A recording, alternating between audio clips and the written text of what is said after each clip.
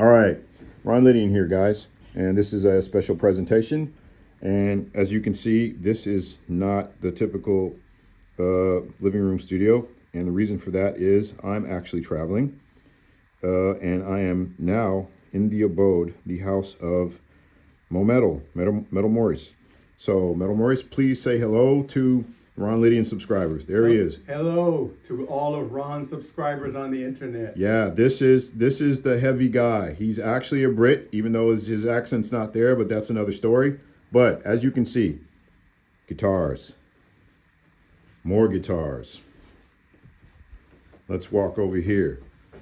Acoustic. Here's a Dean. Over here you will see amps you will see even more guitars. Like I told you uh, in uh, previous installments, the guys got guitars, the guys got amps, most of which you don't even see it here because I'm, I'm, sure it's all throughout the house. But anyway, this is a special moment because uh, in spite of all the guitars, he's the guy's got a lot of guitars, um, but he does not have any name brand. And when I say we're talking about the big two, so we're talking about Fender and Gibson. Right. No Gibson, no fender. So I'm going to present Metal Maurice with this Fender Player Strat uh, in honor of our friendship over 40 something years. So I will give the camera over to my lovely assistant.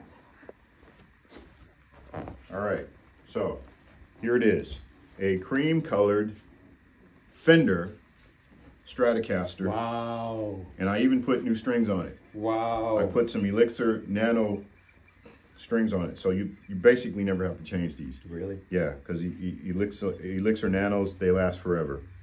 So wow. here you go, buddy. Wow. Your first Fender Stratocaster ever. This is monumental. I, I, I don't know what to say. I, I don't have the words. This is my, even feels different. This is my first, boy, this neck is smooth. My first real Fender. Fender. In my house in my life. This is this is this this is this is just unbelievable. Thank you. Yeah, you're you're very welcome.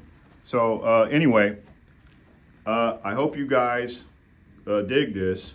Uh, I'll be back in a few days, back in the home spot, back to doing you know more demos, more reviews. But this is just a short little installment. I wanted to share this with you because you know I've talked quite a bit about Metal Maurice, and now you actually get a chance to see the guy.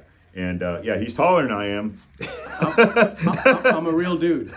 but he's actually a real person. Yeah, and he is a Brit. He's born in London, grew up partially in Tottenham, and then moved to the States, uh, first in New Jersey, and finally ended up in Inglewood. And we are the guys who basically back then kept Inglewood heavy.